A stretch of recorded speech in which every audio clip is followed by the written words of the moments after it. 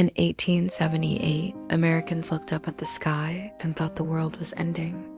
On July 29th, a massive solar eclipse swept across the United States, from Montana all the way down to Texas.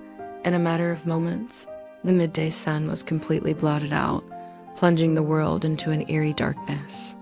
Cities fell silent, animals became confused and hid. Witnesses described a sudden, bone chilling cold that filled the air as if night had arrived hours early. People were terrified, believing they were witnessing the apocalypse. But for scientists, this was the opportunity of a lifetime. They raced to the Rocky Mountains with heavy telescopes, eager to study the sun's mysterious outer layer, the corona, which is only visible during a total eclipse. When the sky finally went black, a ghostly glowing ring appeared around the blotted out sun. People described it as brilliant streams of fire surrounding a black hole in the sky.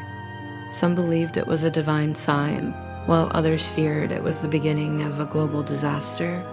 But after just 3 minutes and 11 seconds of total darkness, the sun snapped back into view, and life slowly returned to normal. For a few brief moments, America held its breath as the sun simply disappeared. Thanks for watching.